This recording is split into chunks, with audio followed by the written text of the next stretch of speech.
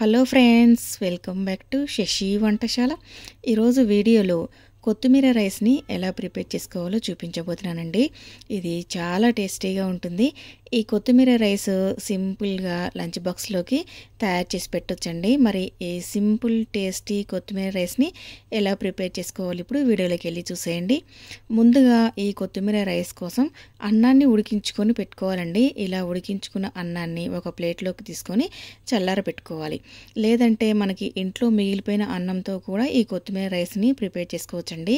మిగిలిపోయిన అన్నం కూడా ఇలా ప్లేట్లోకి తీసుకొని అన్నాన్ని పొడి పొడిగా చేసుకొని పక్కన పెట్టుకోవాలి.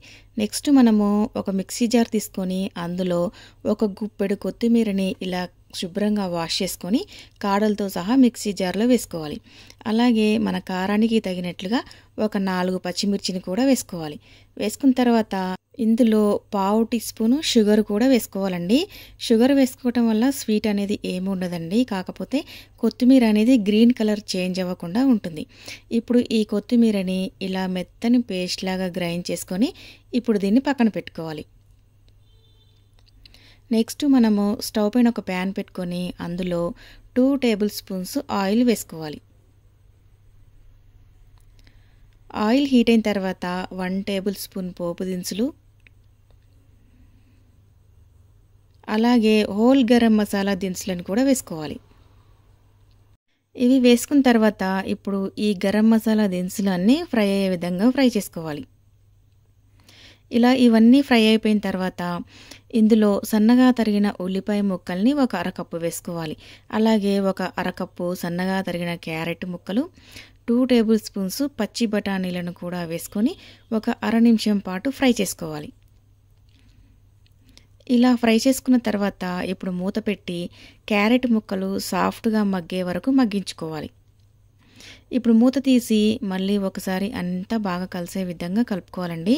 ఇలా కలుపుకొని క్యారెట్ ముక్కలు సాఫ్ట్గా ఉడికినాయో లేదో ఒకసారి చెక్ చేసుకుంటే సరిపోతుంది. ఇలా క్యారెట్ ముక్కలు సాఫ్ట్గా ఉడికిన తర్వాత ఇందులో కొద్దిగా కరివేపాకు కూడా వేసుకొని ఫ్రై చేసుకోవాలి. అలాగే ఇందులో ఒక పావు teaspoon salt one teaspoon అల్లం వెల్లుల్లి పేస్ట్ కూడా వేసుకొని అల్లం వెల్లుల్లి పేస్ట్ పచ్చివాసన పోయే వరకు బాగా ఫ్రై చేసుకోవాలి. ఇలా ఇవన్నీ ఫ్రై చేసుకున్న తర్వాత ఇందులో వేసుకున్న పచ్చి బఠానీ అనేది ఉడికినాయో లేదో ఒకసారి చెక్ చేసుకోవాలండి. ఇలా పచ్చి బఠానీ అనేది పూర్తిగా ఉడికినాయి అనుకున్న తర్వాత ఇప్పుడు ఇందులో మనం ముందుగా గ్రైండ్ చేసుకొని పెట్టుకున్న కొత్తిమీర పేస్ట్ని వేసుకోవాలి. ఇలా కొత్తిమీర పేస్ట్ కూడా వేసుకొని ఒక్క నిమిషం పాటు లో ఫ్లేమ్లో పెట్టుకొని ఫ్రై చేసుకోవాలి. ఇలా ఒక నిమిషం ఫ్రై అయిన తర్వాత ఇప్పుడు మూత పెట్టుకొని మధ్య మధ్యలో కలుపుకుంటూ ఈ పోపుని బాగా ఫ్రై చేసుకోవాలి. ఇలా ఈ పోపులో నుంచి ఆయిల్ అనేది పైకి తేలే వరకు ఫ్రై చేసుకోవాలి. ఇలా ఇవన్నీ బాగా ఫ్రై అయిపోయిన తర్వాత ఇప్పుడు ఇందులో మనం ముందుగా ఉడికించుకొని పెట్టుకున్న అన్నాన్ని వేసుకోవాలి.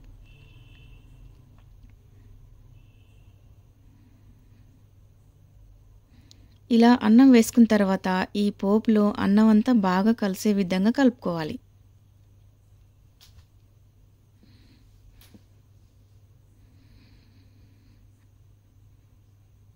ఇలా అన్నం అంతా పూర్తిగా కలిసిన తర్వాత ఇందులో రుచికి సరిపడినంత సాల్ట్ అలాగే వన్ టీ స్పూన్ ధనియా పౌడరు పావు టీ స్పూను వేయించి పొడి చేసుకున్న జీలకర్ర పొడి అలాగే కొద్దిగా కొత్తిమీర తరుగును కూడా వేసుకొని ఇది అంతా బాగా కలిసే విధంగా కలుపుకోవాలి.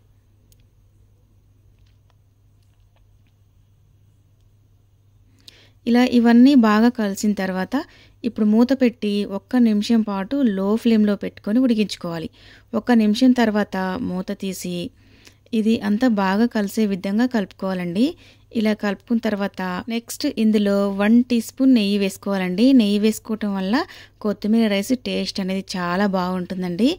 నెయ్యి వేసుకున్న తర్వాత ఇందులో ఒక అరచక్క నిమ్మరసాన్ని పిండుకొని ఈ రైస్ అంతా పూర్తిగా కలిసే విధంగా కలుపుకోవాలి. ఇలా పూర్తిగా కలిపిన తర్వాత ఇప్పుడు స్టవ్ అప్ చేసుకొని సర్వింగ్ బౌల్లోకి తీసుకొని సర్వ్ చేసేసుకోవటం అండి ఎంతో టేస్టీగా ఉండే కొత్తిమీర రైస్ రెడీ అయిపోయింది ఫ్రెండ్స్. మీరు ఒకసారి తప్పకుండా ట్రై చేయండి. మీకు తప్పకుండా నచ్చుతుంది. ఈ కొత్తిమీర రైస్ని చాలా సింపుల్గా టేస్టీగా లంచ్ బాక్స్లోకి ప్రిపేర్ చేసి పెట్టారంటే పిల్లలు చాలా ఇష్టంగా తింటారండి. మరి ఈ సింపుల్ టేస్టీ కొత్తిమీర రైస్ వీడియో మీకు నచ్చితే తప్పకుండా లైక్ చేసి మీ ఫ్రెండ్స్కి రిలేటివ్స్కి షేర్ చేయండి. నా ఛానల్ని ఎవరైనా ఫస్ట్ టైం చూస్తున్నట్లయితే సబ్స్క్రైబ్ చేసుకోండి. Thank you for watching